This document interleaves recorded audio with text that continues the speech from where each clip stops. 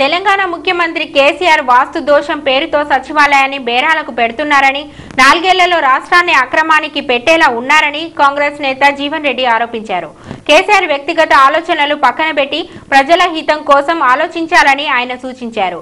ఇది రాచరికం కాదని ప్రజలు ఎన్నుకున్న ప్రభుత్వం అని కేసీఆర్ గుర్తు చేసుకోవాలని జీవన్ రెడ్డి హితవు పలికారు. ఒక విధంగా తెలంగాణ రాష్ట్రం ఏర్పడటానికి దోహదపడ్డది ఇవాళ ప్రస్తుతం ఉన్నటువంటి ఒక సెక్రటేరియటే రాష్ట్ర ప్రభుత్వ పరిపాలన కార్యాలయం అని చెప్పని చెప్పక తప్పదంటూ నేను. ఎందుకంటే ఆనాడు రోషే గారు ముఖ్యమంత్రిగా ఉండంగా వివిధ రాజకీయ పార్టీల సమావేశాన్ని ఏర్పాటు చేసి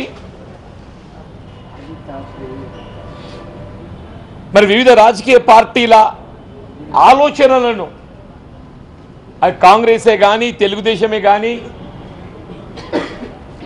అన్ని రాజకీయ పార్టీల ఆలోచనలను కేంద్రానికి నివేదించడంతో కేంద్ర ప్రభుత్వం ఏదైతే ఉందో తెలంగాణ రాష్ట్రం ఏర్పాటు చేయడానికి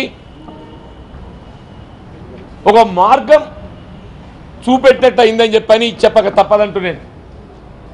మరి అటువంటి ఒక సెక్రటేరియట్ పరిపాలనా కార్యాలయం ఇవాళ కేసీఆర్ గారికి వాస్తుదోషంగా కనబడుతుందంటే ఆశ్చర్యం కలుగుతుందని చెప్పి అంటున్నాయి.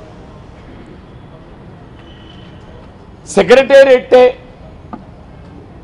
అంటే పరిపాలన రాష్ట్ర ప్రభుత్వ పరిపాలన కార్యాలయం అంటే అది కేవలం పరిపాలన కార్యాలయానికే పరిమితం కాదు.